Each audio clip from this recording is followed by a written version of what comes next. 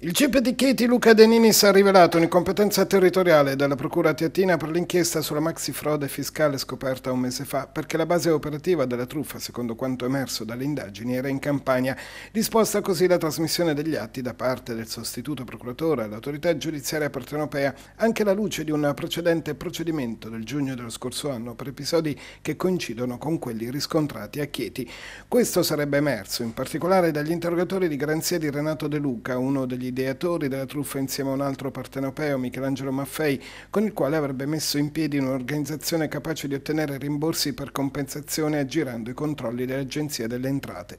Un sistema già collaudato in terra campana, secondo i magistrati, nel 2015. In sostanza i fatti riscontrati recentemente dalla squadra mobile in fase di approfondimento dagli uomini della Polizia Tributaria e della Guardia di Finanza non hanno fatto altro che sollevare il velo su quella che rappresentava nient'altro che la cellula teatina, guidata, secondo l'accusa, dall'imprenditore Maurizio Di Biase. Tesi della Procura dunque che tutti i bonifici effettuati tramite F24, grazie ai quali decine di clienti usufruivano di compensazioni non dovute per una truffa all'erario complessiva, lo ricordiamo, di circa 60 milioni di euro, siano partiti dai supporti telematici dello studio sito in via Castellino a Napoli, sede operativa dell'organizzazione. Sta ora il PM incaricato dalla Procura di Napoli a reiterare nei tempi previsti le richieste già avanzate dal collega di Chieti, altrimenti potrebbero decadere le ordinanze di sequestro dei beni. Un passaggio sul quale gli avvocati difensori sono già pronti ad avanzare le loro richieste di revoca delle misure, in qualche caso anche addirittura di archiviazione.